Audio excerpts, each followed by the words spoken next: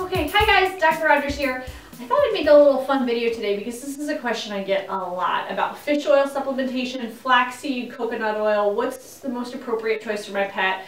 Lots of owners want to purchase stuff over the counter, which can be fine too. So um, when we're talking about dogs and cats, fish oil is by far the most superior way to have a good source of omega-3, omega-6 fatty acids. Dogs do absorb some amount of flaxseed oil, but really not very much, and cats don't absorb it at all. Same with coconut oil. Dogs and cats are not going to benefit from ingesting that orally. It's simply a source of fat. So far and away, the best way to get a source of omega-3 and omega-6 fatty acids into our pets is with fish oil.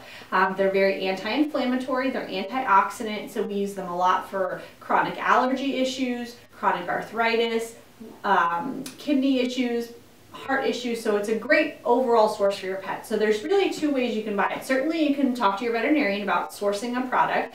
One that we recommend a lot is called Welactin. It's a liquid. I like it because it is independently verified and it's super easy to just squirt on your pet's food. There are certainly brands that you can purchase over the counter. The big thing is you need to look for independent verification because nobody regulates human supplements. That's vitamins, fish oils, any of that kind of stuff. That's why human prenatal vitamins are prescription because then the FDA can regulate them. So when you're just going to your grocery store or to Walmart or any other place and pulling a random fish oil supplement off the counter, you really don't know what it contains unless it has USP verification.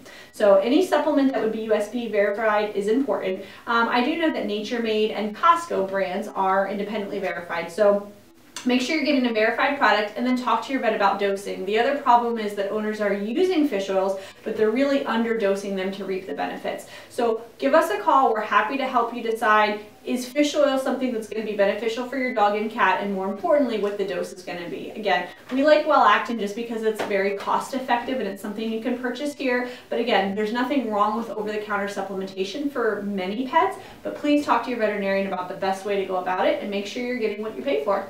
Have a great day.